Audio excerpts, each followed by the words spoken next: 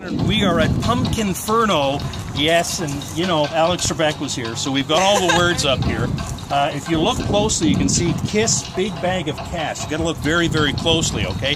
And don't forget, Kiss Big Bag of Cash is going to wrap up Friday, and something else is happening Friday. Pumpkinferno is opening up. It's going to be great. It's going to be so cool. This is my first time here at Dynamic Earth, and oh my gosh, you are in for a treat. Not only is this great for the whole family, family fun, but an awesome date night idea too. So make sure you grab the whole family, round them up, and come to Dynamic Earth. It's going to be happening up until Halloween. We shouldn't have put that word in there. Maybe we should talk to somebody about that. Yeah, we should see what we can do These about young that. Kids, eh? they don't want to see that. And don't forget the Tunnel of Terror. We'll see you there. We're going to have all kinds of videos for you. It's going to be spooky.